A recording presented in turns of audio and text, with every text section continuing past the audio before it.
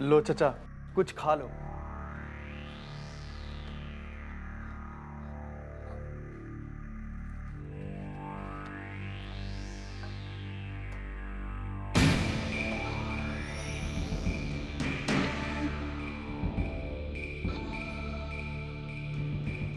भगवान तुम्हारा भला करे बेटा।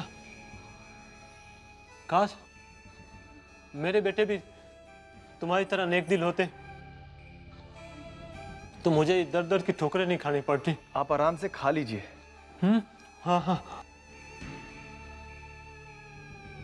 अरे सुनो बेटा। मेरे पेट में दाना तो तुमने डाल दिया। पर अब ठिकाने का क्या करोगे? मैं बूढ़ा अंधा आदमी।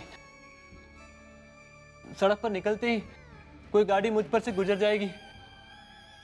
तो मैं भी गुजर जाऊँगा।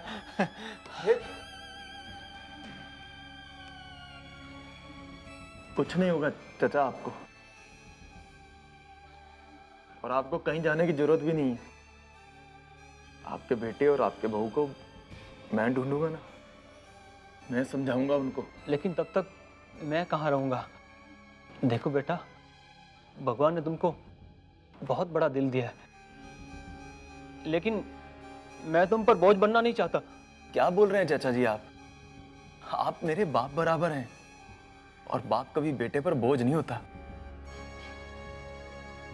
आप मेरे साथ चलिए। जब तक आपका बेटा और बहू मिल नहीं जाते और आकर खुद से आपको सॉरी नहीं बोलते आप मेरे घर रहेंगे। आइए। कसम काल भैरव की। चाचा बेटा मेरा सामान। हाँ चलिए चलिए मैं लेता हूँ।